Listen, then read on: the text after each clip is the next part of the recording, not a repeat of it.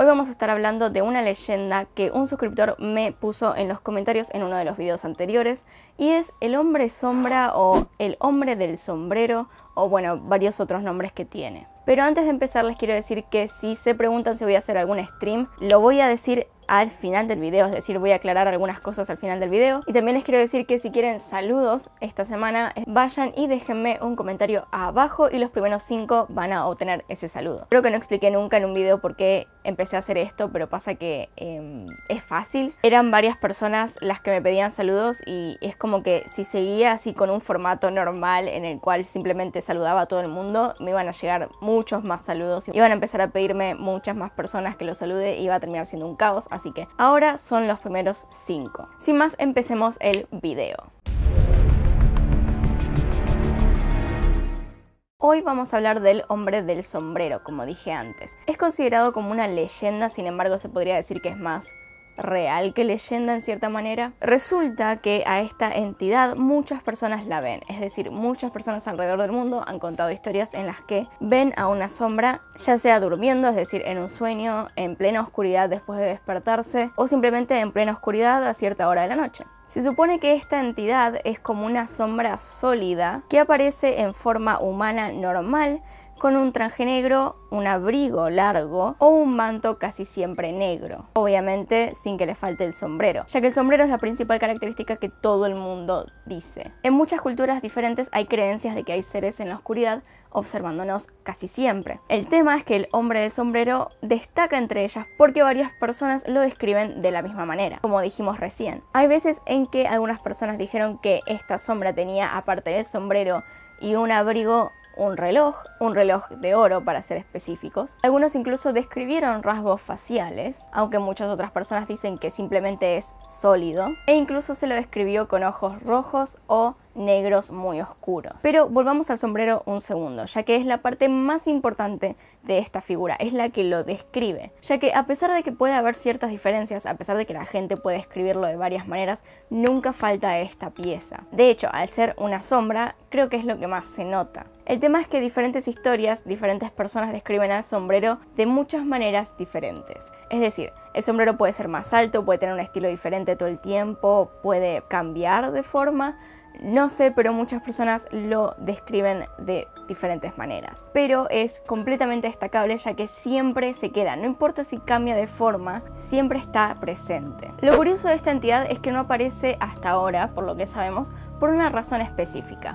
Es decir, según muchas personas apareció en diferentes oportunidades dependiendo de la persona y de lo que haya hecho. Gente que jugó con la Ouija, Dice haberlo visto justo la noche en que jugó. Gente que tuvo contacto con extraterrestres, supuestamente. Dice también haber visto esta figura, sin embargo también podemos decir que fueron los hombres de negro. Pero también le sucede esto de ver al hombre del sombrero a personas a las que les está yendo mal o que les va a ir mal en un futuro es decir, trae como la desgracia. Pero por estas razones no se lo puede poner en una sola categoría. No se sabe dónde ponerlo, es decir, es una sombra, es un fantasma, es una entidad demoníaca. Muchas personas se preguntan estas cosas. Y varias son las personas que dicen haber visto a esta entidad. Sin embargo, una de las más conocidas es Wes Craven, el creador de Freddy Krueger. Dice que a partir de un encuentro con esta sombra, creó al personaje. Era una experiencia que tuvo cuando era un niño, en la que vio por la ventana de su casa a un hombre de aspecto aterrador, caminando por la calle con un sombrero de borde plano. Al parecer, esta extraña presencia tenía como un rostro aterrador muy difícil de describir para Craven, y cuando lo miró directamente, sintió un miedo que nunca había experimentado. Y de hecho esto tiene coincidencia con varias otras experiencias de diferentes personas,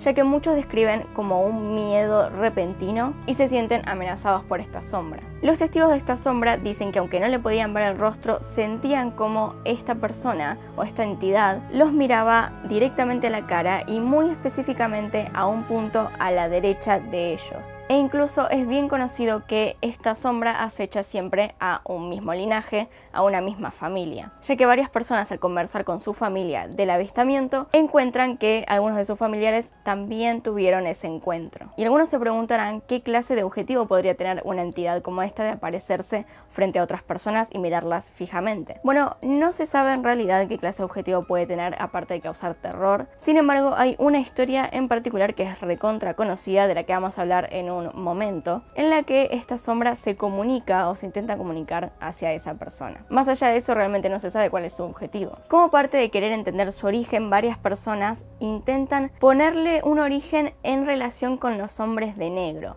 es decir, como que es una entidad que se formó a partir de ellos. Más que nada por el parecido, ya que se supone que son como seres supernaturales con poderes sobrehumanos que gustan de vestirse de traje y con sombrero, al menos para aparecer entre nosotros, ¿no? Y de vuelta también especulan que quizá tenga que ver con la gente sombra, de la que tal vez algún día hablemos, pero para que se den una idea son gente sombra, no como fantasmas, sino más bien un poco más como sombras en 3D. Creo que esa es la explicación más fácil que se puede hacer. Y ahora les voy a contar la historia de la que les hablé antes, en la cual se ve al hombre sombra intentando comunicarse. Esta historia es sobre Rebeca, que tenía 6 años de edad para la época en la que le pasó esto, en 1978. Y dice, cuando yo era niña vi lo que ahora sé que se llama el hombre del sombrero. Explica Rebeca. En este momento de mi vida, mi madre, mi hermana y yo vivíamos con mis abuelos de vez en cuando debido a nuestras propias circunstancias. Rebeca recuerda que otros parientes también se alojaban en casa de sus abuelos en ese momento, teniendo que dormir en el dormitorio para invitados con su hermana. Esa noche,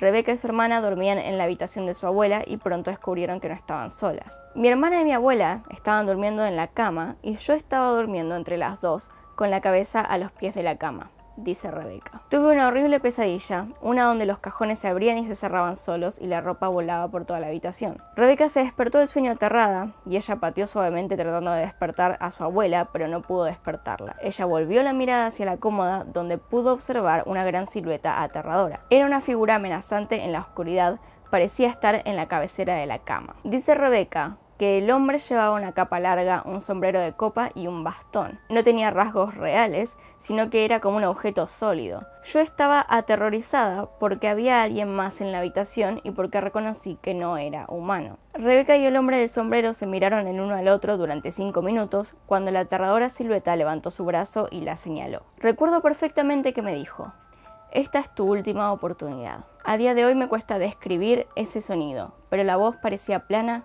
sin sonido residual, como si solo lo pudiera escuchar yo. Después de que el hombre del sombrero dijo esas cinco palabras crípticas, bajó su brazo y desapareció. Rebeca explicó a su madre lo que le había pasado y a esta le cambió la cara. Entonces la madre le explicó a Rebeca que su tía había tenido más de un encuentro con el hombre del sombrero, extrañamente similar a la suya. A día de hoy Rebeca no sabe por qué el hombre del sombrero le dijo esas palabras y tampoco quién era, pero lo que tiene claro es el terror que sintió. Hay varias culturas incluso en las que aparece este hombre del sombrero o el hombre sombra o como le quieran decir. Y de hecho tiene diferentes nombres. Algunos lo relacionan con oscuridad otros lo relacionan con muerte. El tema es que diferentes culturas tienen a esta misma entidad, lo cual es completamente extraño para mí. Es decir, gente que no se conoce en todo el mundo y que tal vez nunca, nunca le dijeron nada acerca de esta entidad, de repente sueñan con él, lo ven, lo tienen adelante, es raro. De hecho, hay varias personas que lo considerarían como parte del plano astral, es decir, es como una entidad que pertenece a ese plano de existencia. De hecho, hay un testimonio de una persona llamada Steven P, si encuentro el apellido lo van a tener acá, donde dice que en una de esas apariciones con el hombre del sombrero, vio un cordón de plata que se unía a su cuerpo. Y esto tiene que ver con el plano astral, ya que se considera que el humano tiene un cuerpo físico y un cuerpo astral que están unidos por una cuerda de plata. Es decir, que viendo ese cordón significaría que él estaba en el plano astral y que el hombre de sombrero pertenece a ese plano. Y con todo esto varias personas teorizan que no solo es que vive en el plano astral, sino que es como un parásito que toma las energías vitales de la gente. Y esto se conecta con el hecho de que hay varias personas que mueren mientras están dormidas, es decir, varias personas lo conectan con algo como esto, como una entidad que se presenta en los sueños, que les roba las energías vitales y que los terminan matando. Eso o que se alimenta del miedo de las personas. También explicaría por qué se presenta ante personas con mala suerte o que están pasando por un mal momento, ya que se supone que estas entidades parasitarias del plano astral irían a lugares donde se concentren las malas energías. Y hay muchas explicaciones esotéricas acerca de este individuo también, cosas que tienen que ver con magia y el plano astral. También entre las explicaciones que intenta dar la gente está la opción de que este ser sea un ente de otra dimensión. Pero ya nos vamos por las ramas, creo. Así que, ¿qué me dicen ustedes? ¿Alguna vez vieron a este tal hombre sombra o hombre del sombrero o entidad gris en sus vidas? ¿Alguna vez lo vieron en un sueño? ¿Alguna vez vieron algo así de reojo? ¿Alguna vez vieron algo así en la oscuridad? Díganmelo en los comentarios.